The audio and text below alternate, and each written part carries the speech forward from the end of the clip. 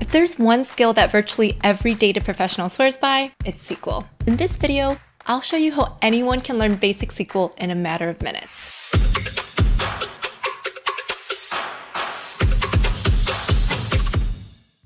One great thing about SQL is that it's used in so many different data roles, and while it's often not the primary tool used, it's by far the most popular supporting language. In this video, we'll cover some foundational SQL concepts, including terms like relational databases, queries, and MySQL. Then we'll spend the majority of our time demonstrating the big six, which are six common keywords that you'll see again and again when writing SQL code. We'll also introduce the basics of multi-table analysis using a technique called a left join. By the end of this video, you'll know enough basics to start writing queries and exploring datasets on your own. Let's start with the basics. SQL stands for Structured Query Language. We'll break this down in just a bit, but in short, it's the language that you would use to talk to a database. So what is a database exactly? It's a place to store data in an organized way. Now imagine you have a piece of data, which is represented by this Lego piece. If you were to collect a ton of data, you would have this whole pile of Lego pieces. But that's hard to sift through, so you would have to organize it in some way, such as this. You can think of this storage system for Lego pieces as a database for data. Everything is now neatly sorted and easy to find. And just like there are many ways to organize Lego pieces, there are many ways to organize data. The most common way is to use tables that are connected to one another. These tables are also called relations, which is why you'll sometimes hear this organizational structure called a relational database. Now to interact with a relational database, you can ask queries to return the information that you want. These queries take the format select star from my table.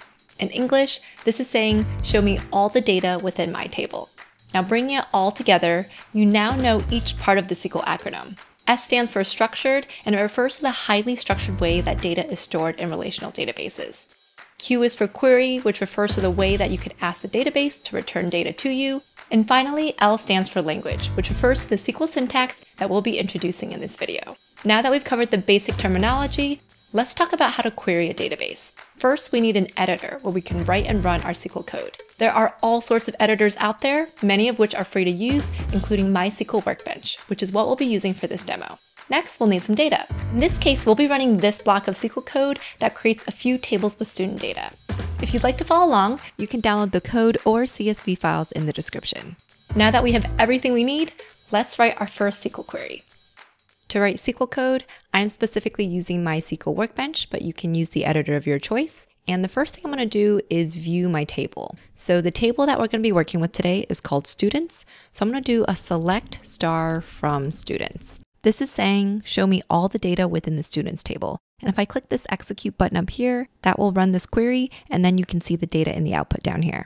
You can see Abby here is in the 10th grade. She has a GPA of 3.1. She does get school lunch and so on. And if we go back up here to our first SQL query, what we've done is we've selected all the columns from this students table. And we did that by specifying a select clause and a from clause.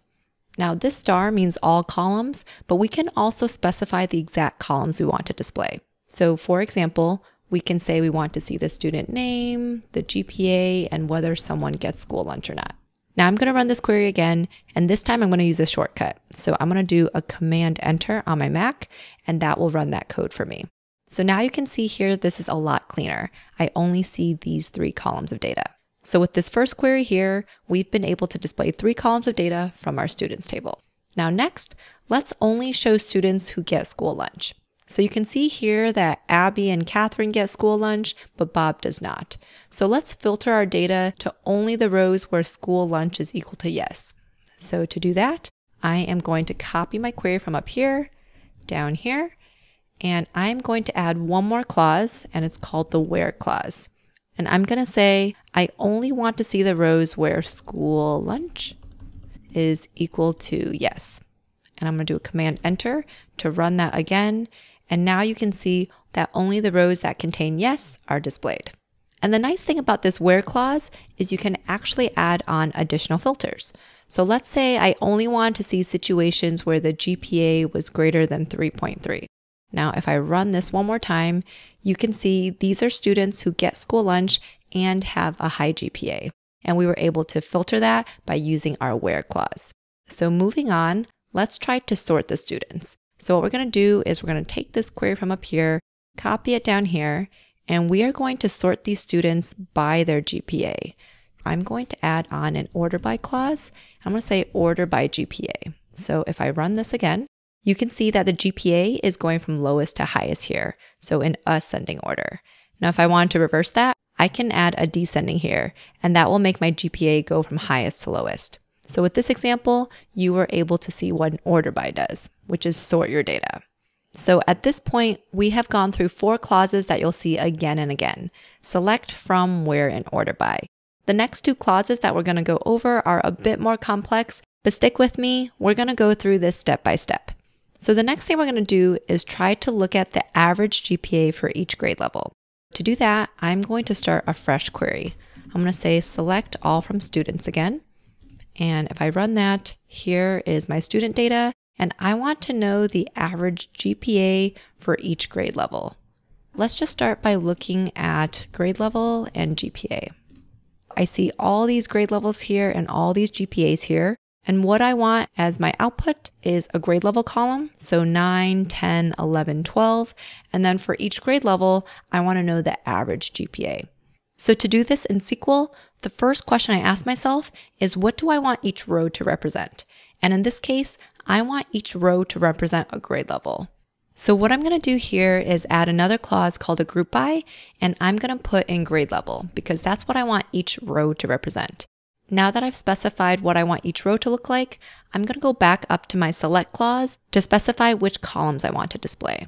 So the first column I want to display is grade level, and then the second column I want to display is not just GPA, but the average GPA for each grade level. So what I'm going to do here is add an average function around this. And now if I run this query here, you can see now I have for each grade level, what is the average GPA? And to make this look a little bit nicer, I'm also going to sort this grade level column. And I can do that by adding an order by grade level.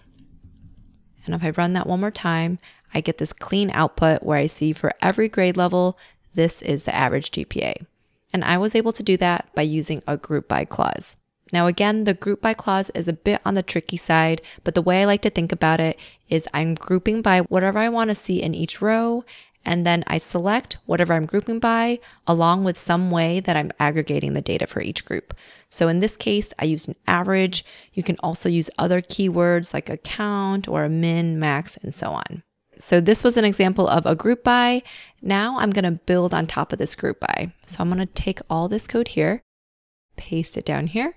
And what I want to do now is show the grade levels with an average GPA below 3.3. So if I run our current code, you can see here, these are all the average GPAs. But what I want to do now is only return the ones where the GPA is less than 3.3. So I only want to return these three rows here. Now the way that I'm going to do that is by using something called the having clause. So at this point, you might be thinking, why am I not just using the where clause? All I'm trying to do is filter the data here. However, in this case, I'm not just filtering my raw data, I'm filtering my group by data. And anytime you're filtering group by data, you're going to use a having clause. So right after I group my data, I can add a having clause where I filter this data by average GPA less than 3.3. Now, before I do that, I'm going to actually make one more tweak up here. So right now, this says average GPA with these parentheses here. And down here, we also see that average GPA with parentheses. So I'm going to rename this so that it's all lowercase with an underscore, which is a standard way to name columns in SQL and I'm going to delete this having temporarily. Now, if I run this, you can see that the only thing that's changed is this column name is now called average GPA. So now I'm going to use that with my having.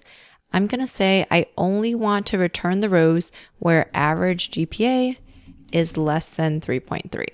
And if I run that, you can see I only get the three remaining rows here. So the main takeaway here is that having is a clause that allows you to filter any group by data. To summarize everything we've gone through so far, we're going to call all these clauses we've just covered the big six. These are six keywords that you're going to be using again and again when writing SQL code. Remember, select lets you choose which columns to display, from allows you to choose which tables you're looking at, where allows you to filter your data, Group by allows you to group rows of data within your table and aggregate them in some way. Having allows you to filter your group by data. And then finally, order by allows you to sort your data. So one interesting thing about SQL is when you're writing your SQL queries, your clauses always have to be in this order. Now you don't have to include all the clauses in each one of your SQL queries, but whatever you do include has to be in this order. So let's say we just wanted to view all the data in our table and sort that data.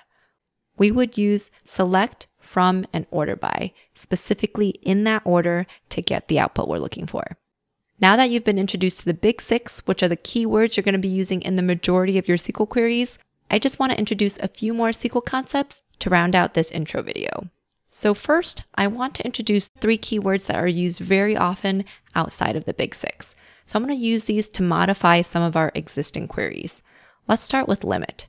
If we scroll all the way back up to the top, if I run this first query where we viewed our table, you can see that a lot of rows of data were returned. But let's say we didn't want to see all the rows of data.